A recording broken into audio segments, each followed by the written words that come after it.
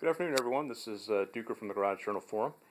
I thought I'd uh, kind of give you a breakdown, a little video of the uh, latest project that I finished in the uh, workshop uh, this weekend. It's uh, completion of wiring and mobile base for my Powermatic uh, 1200 drill press that I got a couple months ago at auction. Um, what I'll do is I'll walk you through the upper part here, but I'll start down here at the base. I built a mobile base to be able to roll around my shop. As you can see, I've got a lot of stuff sitting on either side of it here. Ability to move it around so I can access, got a couple uh, 220 plugs and that allows me to, to move this around to access those and use one for my table saw and I can use it for this and welder and things like that. What it is, I put uh, each of these as a 300 pound caster, uh, some angle bracket, and then you can see I've got some side, basically I call them stabilizing uh, screws and you can kind of see you've got uh, feet on the bottom of each one of these. They basically just screw down, allowing me to stabilize it, basically lock into the ground. That basically adds a six point of contact when I put both of them down on the ground. Locks the base from moving. It also adds a great deal of rigidity to the base. I have some pictures that I'll uh, post on the board to kind of show you how I made those, uh, put those together. I'll just kind of swing around here, just give you a little different profile of the base there. See, a pretty simple base, just to basically square. Uh, reinforced it uh, with the bottom. I got some quarter inch plate on the bottom of both ends to be able to bolt it down, which I've yet to do. But you see, allows me to, again to move it around, and by having those two side stabilizers, again as I said, lock it in place, and to be able to uh, kind of increase the rigidity of it and keep the still the center of gravity fairly low. I'm going to start on. We'll kind of work our way up now to the top of the lathe and kind of show you the switch that I put on and basically the uh, the VFD. I'll actually walk you now through the wiring of the switch and also the VFD, how I put those together. As you notice, I've got a giant stop switch sitting on the front here. I took the original switch out and looking at the directions for the VFD, it said to have it unswitched to basically going direct from the power source into the VFD.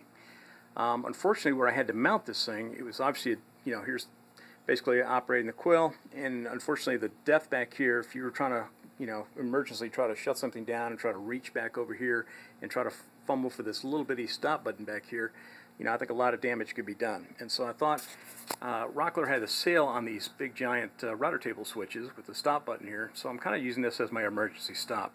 I actually do can run it and start it and stop the, uh, the VFD from here. I think when they're talking about, I'm going to guess, is from a switch standpoint, they must be talking about electronic starter or something like that on a three-phase, is avoiding basically running through that. But here I've got this uh, Rockler switch. I think it normally is like $39. I think it was on sale, and I think they had a 20% off coupon. I think I ended up with tax and everything else coming out the door around $26, $27. Um, so I thought, you know, it would be pretty nice uh, to have this kind of big paddle in front here. Worst case, I could knock it with my forehead if the uh, if uh, things start to go pretty awry pretty quickly on the drill press. Now basically you can see the two wires that run in, one coming from the power supply into the switch, back out to the, uh, the VFD, and then the other wire coming in from the motor.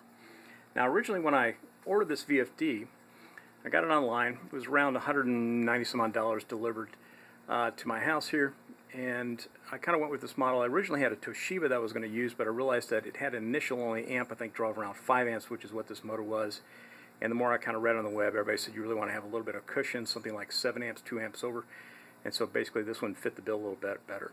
So between what I paid for the drill press, which is around $446, plus the uh, inverter, let's just call it 200 I got about $650 in there, plus with the steel for the base, let's just call it 675 So I still think it's a pretty decent value considering uh, the cheapest I think these in pretty rough shape are between eight and nine hundred bucks and between twelve hundred dollars you know in decent shape. So I figure kind of a 50% off retail is for me at least still a pretty good bargain and save me some money to look for some other tools but let me kind of walk you through now the operation of the VFD in doing that I had to mount it to the drill press and so I created this uh, frame right here out of three quarter inch angle and then put a piece of wood in there uh, my wife tells me my paint color choice is not exactly correct. I'm a little bit of colorblind, and I guess my gold didn't quite match up with the Powermatic gold.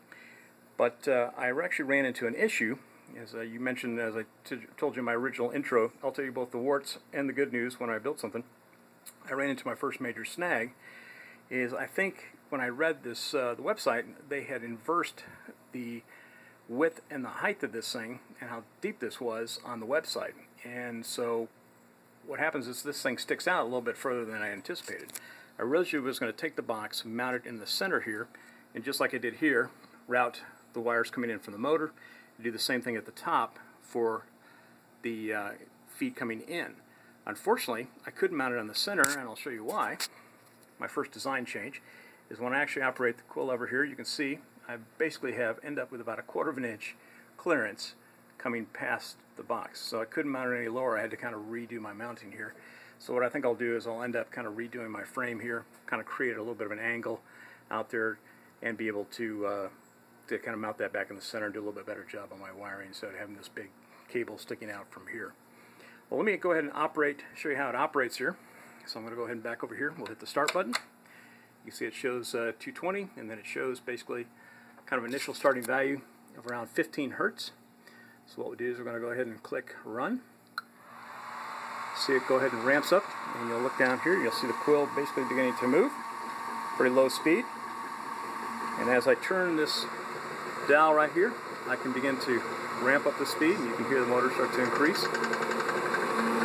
And you can see the quill basically go up.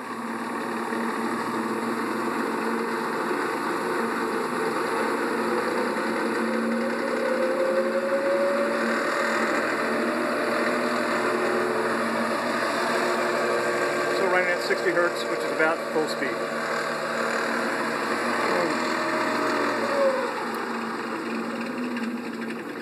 And basically hit the run stop button, it shuts back off, or I can hit this button right here. Basically, I think that's an error message saying it's basically lost power. I'm still working on programming this thing. I'm not sure who writes these manuals, but it's a nightmare. But I'm slowly getting this thing done and operational. I had the only chuck I could find handy that I had was this uh, basically keyless chuck. I haven't even shot anything in here yet to even see if it's worth a darn, but I may end up having to put a different chuck in here to make it worthwhile. But anyway, I just want to kind of give you guys an update. It was a pretty simple process. Uh, probably took me longer to mount the VFD than anything else. Again, the base, the rest of the drill press, you can see it's in pretty good shape. Column has no scarring on it. Uh, quill, column and everything else is in very good shape. Only has a couple dings in the table. We've got one little uh, drill here and we got one little nick right over here. Other than that, the table's in pretty good shape. So it looks like it was uh, barely used. I still got a little more cleanup to do, but all in all, pretty happy with the project and looking forward to uh, starting on the next one. Again, this is Duker from the Garage Journal. Appreciate y'all watching. Thanks.